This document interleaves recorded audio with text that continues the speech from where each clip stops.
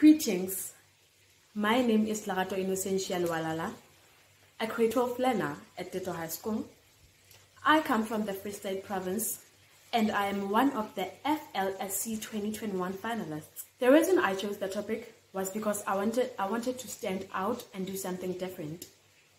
None of my school rounds competitors chose the topic, so I figured why not choose the topic and educate people about what financial literacy really is. I must say, being a participant of this competition was quite challenging during this COVID-19 times. I mean, I had to do my schoolwork while also preparing for the speech.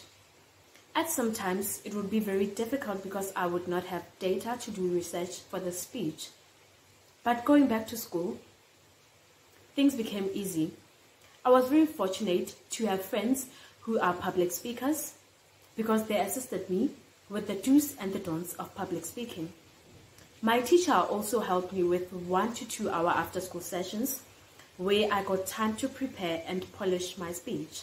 So I'm very grateful for them. The reason I think I'm gonna be the winner of the FLSC 2021 is because since day one I've been very determined and my speech mentioned each and every part and I'm pretty sure that people are now educated about what financial literacy really is.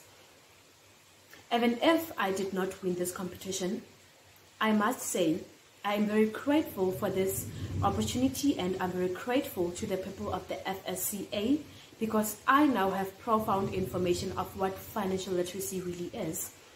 With all that being said, I'd like to say thank you.